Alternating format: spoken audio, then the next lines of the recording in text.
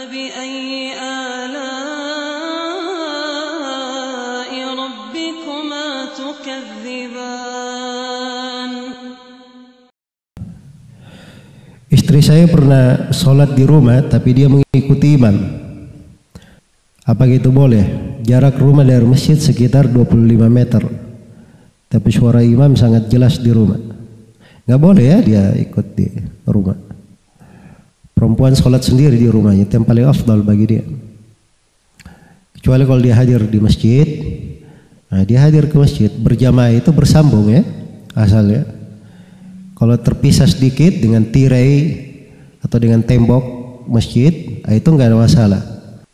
Itu sedikit namanya.